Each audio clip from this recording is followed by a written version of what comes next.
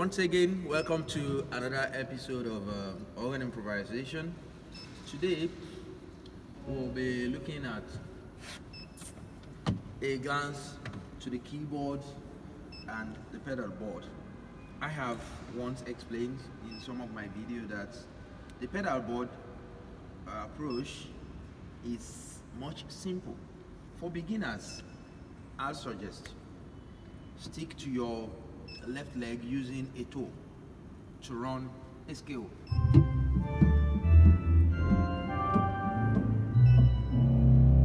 Yeah, it's possible you do it that way. Then the next thing will be to try to use your toe and heel.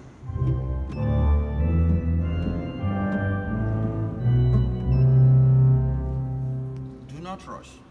Start with the key of C only. Then you try it with your left hand.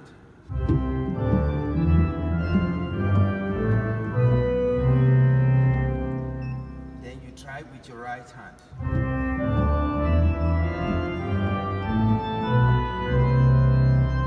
Then you try with both hands.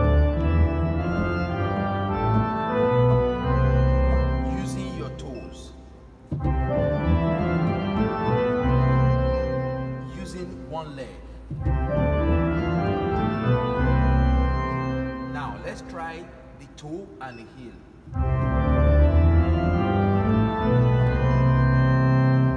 Quite clumsy again. Yeah. This is also very important that you need to sit at the center of the bench. If you have a shorter bench like mine or a longer bench, sit at the center. How do you know if you're at the center? You spread your leg wide and be sure there are no strain on your lap. Close it back and you may your two legs may be pointing to the E flat and the sharp with ease without any stress. This allows you to go this way.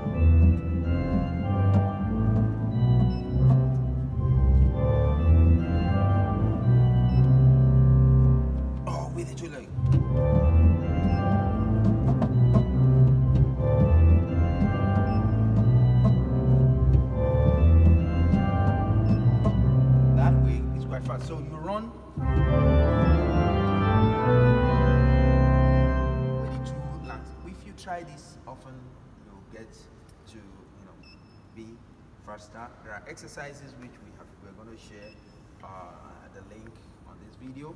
Then also you try to pick a shorter hymn, something like. Um, uh,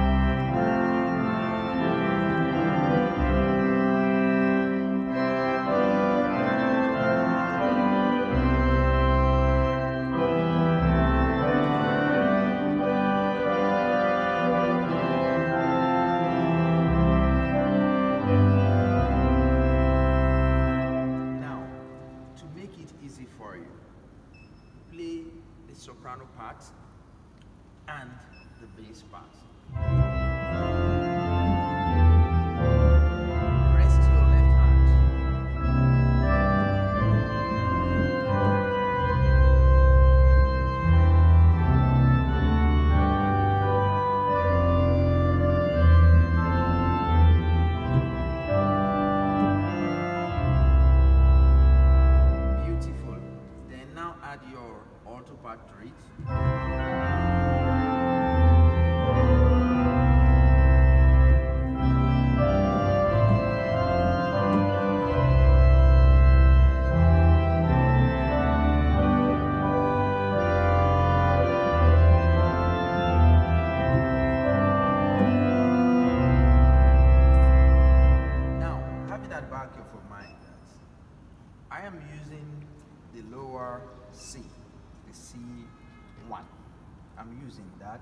Instead of the C15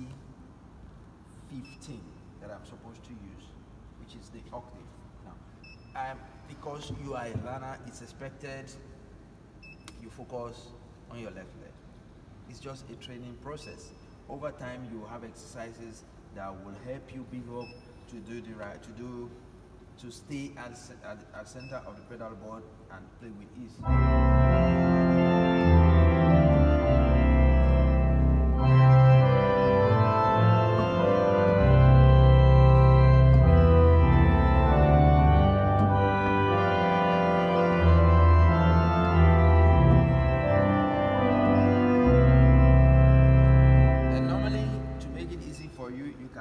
Tenor and uh, the bass same time.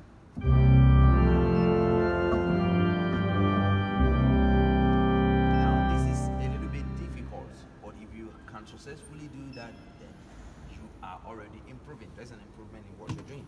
It's very important. Uh, there's a very popular question where people ask, when you play hymns, do you have to play only the bass part on the pedal, or you have to, you know, play same thing? You are playing, you playing the four parts, and you have to also play the bass part on the pedal. Well, here is what I think about it. It's nicer if you can play only the bass part on the pedal board, but if you haven't developed to that extent, then don't rush it, or else you make mistakes while playing your hymns, and that could be more dangerous to your congregation. So, I would say you learn. In the process of learning, you can stick to playing your tenor part alone, while your, you know, your legs focus on the bass part. This could help you develop a, what we call an open score. This could help you develop even faster on how to interpret organ music, which have pedals separate from the right and from the left hand. They do separate things. So if you can't start practicing your hymn in that manner, then you will develop faster. You will be able to attempt um, organ repertoires in. Uh,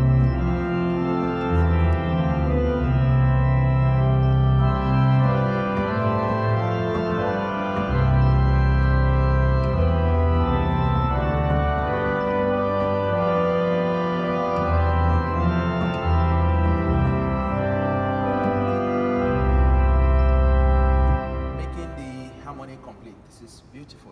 Um, so it is not a process I will want us to rush. Um, I will want you to go back, pick um, a common meter, a short meter, a long meter, a 7S, uh, 8S, uh, 8686, um, these meter met- met- metrics of hymns. Pick them, practice them on whatever key they are. Start with any of them who that is on the key of C. This will make it easier, then grow into it, grow into it over time. Doing that, you are guaranteed that your approach to pedal playing will keep will improve. Then, coupled with other exercises that will be shared, you can really, really have much fun practicing the pedal. So I close the this um, session, the short improvisation. We should always close with an improvisation. Is good, and luckily I have an instrument I'm